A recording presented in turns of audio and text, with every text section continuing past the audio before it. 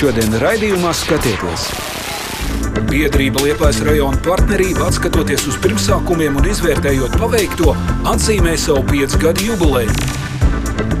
Šogad kultūras mantojuma dienās tika atzīmētas tās vietas, kas var lepoties ar paraugu restaurāciju un kuru saglabāšana nākamajām paudzēm ir īsts izaicinājums. Viena no šādām vietām - Mikjāņu sēta Papes ķoņu ciemā. Pūrānu klēts grobiņus novadā uzskatāms piemērs tam, kā var atjaunot iznīcībai nolēmtu senu ēku un rast tai jaunu pielietojumu. Biedrība Liepājas rajona partnerība dibināta pirms pieciem gadiem, iesaistotās darbībā visas tā laika pagastu pašvaldības. Galvenais mērķis – izmantot līderu programmas piedāvātās iespējas lauku attīstībai.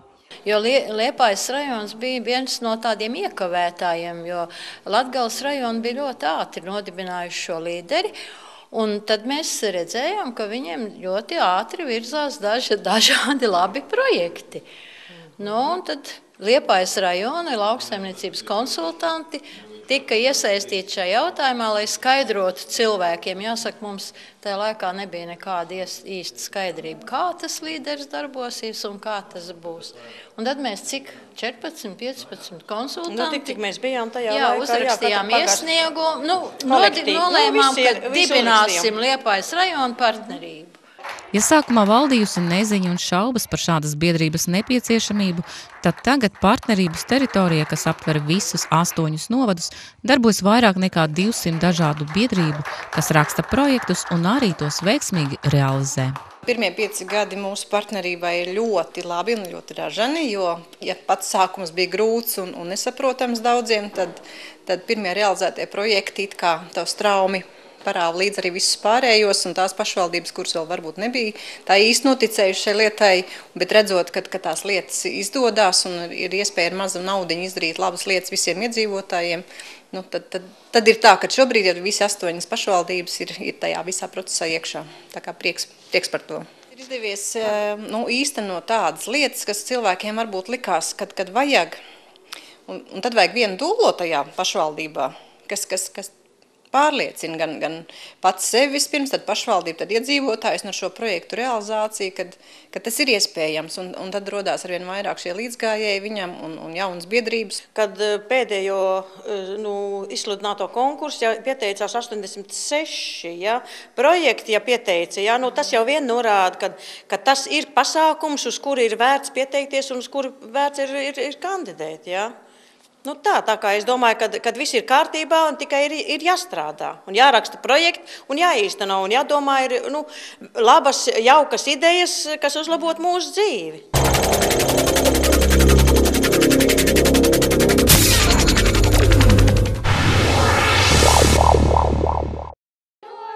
Šogad Eiropas kultūras mantojuma dienās tika atzīmētas tās vietas, kas var lepoties ar paraugu restaurāciju un kuru saglabāšana nākamajām paudzēm ir īsts izaicinājums.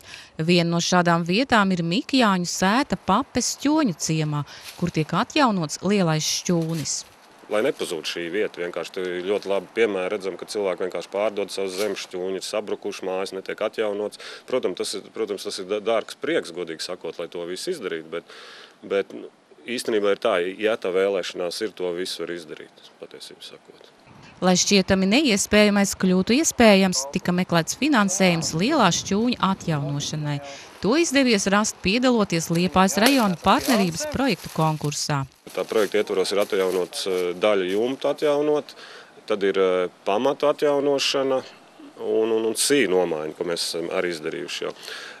Tas finansējums no, no, no Eiropas Savienības, nu, tas lauka atbalsta dienesti, ir kopējais finansējums ir se, ap septiņiem tūkstošiem.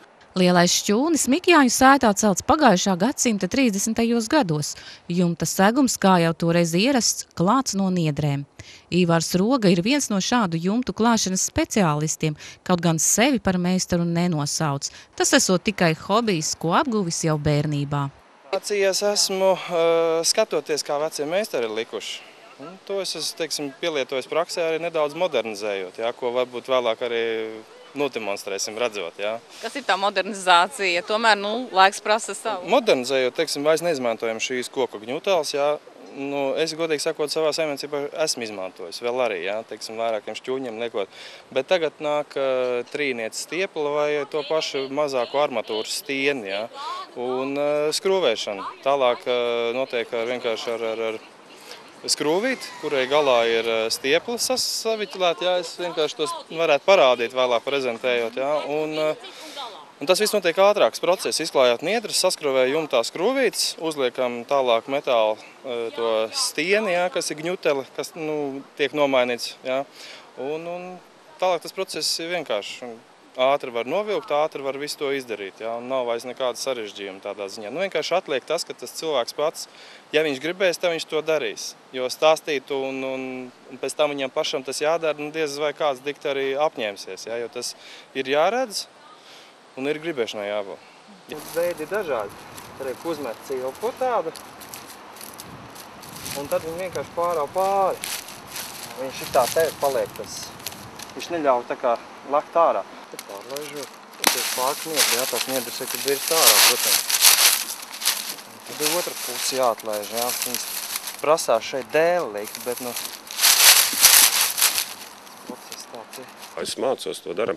Tur jau ir tā, tā projekta būtība, kā teiksim, tur var apskatīties tā viena daļa, kas tas gals, kas ir uzlikts jau iepriekš bijis. To mēs uzlikām divus, trīs gadus 2008. gadā, kad eh, tika mm, uztaisīts eh, projekts. Eh, es atkal nepateikšu līdz precīzi to nosaukumu, bet, bet ar domu tādu, ka var cilvēki mācīties Tur finansējums tika dabū, nu, saņemts no kultūra kapitāla fonda ar domu, ka uh, tiek uh, cilvēki apmācīti, tā, nu, kā, kā, kā liek to jumtu un, teiksim, pēc vecām tradīcijām. Šobrīd jau viņš tiek likts pēc tā kā vairāk mūsdienīgas, saucamās dāņu metodas vai skandināvu metodas, bet principā tas jau to, nu, to vēsturisko kopskatu nemaina.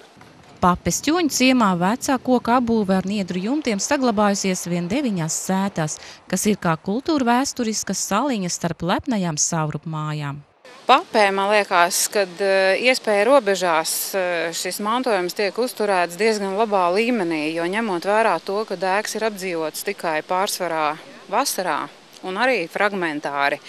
Tad uh, iedzīvotāji, īpašnieki ir darījuši ļoti daudz, lai tās ēkas tiks saglabātas. Protams, ir problēmas ar visu jumtu, biezo niedru jumtu uzturēšanu, ar uh, koku ēku saglabāšanu kā tādu, un arī viņu apdzīvošanu. Bet man liekas, ka nu, šī vieta ir vēl kaut cik saglabājusies. Un to, ka šeit būs abūta, tas jebkurā gadījumā bija zināms, jo to arī paredz teritorijas plānojums ja teritorijas plānojums būtu noliedzis šo apbūvi, tad, tad viņš šeit nebūtu. Ja tur būtu atstāta zona bez apbūves, bet par cik visā pasaulē ir tendence apbūvēt tuvu jūrai, tuvu okeānam, eh, skaistās vietās, kāpās, tur, kur ir daudz zaļums, tad es uzskatu, ka arī šodien mums nav jābrīnās par šo apbūvi. Eiropas kultūras mantojuma dienu karoks Mikjāņu sēta ir kā apliecinājums tam, ka papes ķoņu ciems tik drīz nepazudīs no Latvijas kartes. Atliek vien vēlēties, lai vairāk būtu darbīgu un uzņēmīgu cilvēku, kas ir gatavi mest izaicinājumu kultūra vēsturiskā mantojuma saglabāšanai nākamajām paudzēm.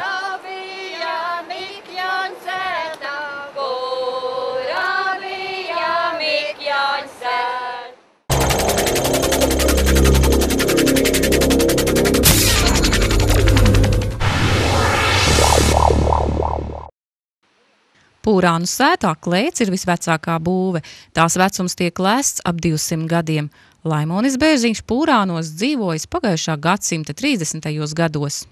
Vispār tas, tas klēts vecums nav īsti noteikts. Viņi nu, bijusi mūžs klēts no 1905. gadā vectēvs vispār atnāca uz Pūrāniem šeit. Tad jau tā klēts bija. Tad acīm redzot, jau aizpagājušo gadsimtā tā iznāk. Diemžēl laika zobs nežēloja seno klēti. Tad māju saimnieki nolēma rīkoties, lai glābtu vēsturisko būvi. Pirms nepilniem diviem gadiem nodibināta biedrība, tad rakstīts projekts par finanšu piesaisti. Viņi ar katru gadu izskatījās ar vien švakāk un švakāk, un uh, Un žēl bija noskatīties, bet nu, arī nav tāds, nebija tāda līdzekļa, lai varētu to pacelt, to atjaunošanas procesu, lai mēs varētu to saviem spēkiem atjaunot. Un, paldies līderu programmai, kas, kas paredzēja tādu iespēju, un, un, un arī Liepājas rajona partnerībai, kas norādīja, ka tāda iespēja mums ir, un uzrakstījām projektu, un, un saņemot atbalstu arī varējām sākt kaut ko darīt. Un, nu, jāsaka gan, ka varētu teikt pēdējā brīdī, jo pagājušo vasaru ja sabruka viss jumts un, un mēs bijām spiest ātrāk kaut ko darīt. Un tad arī nu, viņi būtu tik izārdīti pilnībā, pilnībā visu noārdīts un, un tad skatījāmies, ko no tā var izmantot pa, pa šiem gadiem. Esot ar ļoti švaku jumtu, viņi bija stipri sabojājusies un, un sākotnēji domājām izmantot cik vien var tos pašus materiālus likt atpakaļ, bet atklājās, kad izārdot atklājās, ka ir ļoti maz palicis no, no tā vecā oriģinālā. Bet, nu, cik vien var, arī vecais ir izmantots, un to, to var arī redzēt. Īpaši centāmies visu to priekšpusi salikt atpakaļ tā, kā bija. Nu, jumts ir pilnīgi no jauna, kā ir redzams, vai ne? Bet nu, viņš ir atjaunots tieši tāds, kāds viņš bija sākotnēji. Vecais eh, lubiņa jumts, kāda kurzemē mums eh, šeit ir. Un, eh, un prasmīgi meistari uzlikt to jumtu. Projekta ietvaros Pūrānu klēts atjaunošanai saņemti 6300 latu, pašu finansējums 10%. Darbi uzsākti pagājušajā rudenī, kad ēka nojaukta pilnībā. Kad mēs ārdījām šo būvu nost, tad ar meistriem runāja, runājām par to, cik uh, varētu būt gadi šādai būvei. Un tad mēs teicu, ka uh, to mēs zināsim tad, kad mēs būsim viņu pilnībā izārdījuši, jo uz pašu apakšējo vainagu, kas, kas ir, kur, kur pirmie baļķi krustojās pēc tradīcijas, esot likuši krustpunktā monētu uh, ar to gadskaitli, kurā būva ir, ir, ir būvēta. Uh, nu, Mums par lielu vilšanos mēs tādu monētu neatradām. Nu, nezinu, ir, līdz ar to ir divas versijas. Vai no tie, kas viņu kādreiz būvēja, bija ļoti nabadzīgi cilvēki un nevarēja atļauties ielikt šādu monētiņu, vai arī viņi bija ļoti skopi. Vai jūs tagad ielikāt to monētu? Ielikām. Monētu? Mēs ielikām latiņu ar šī gada, ar šo gadu. Šoruden, neraugoties uz lietaino vasaru, klētiņa ir no jauna atzimusi.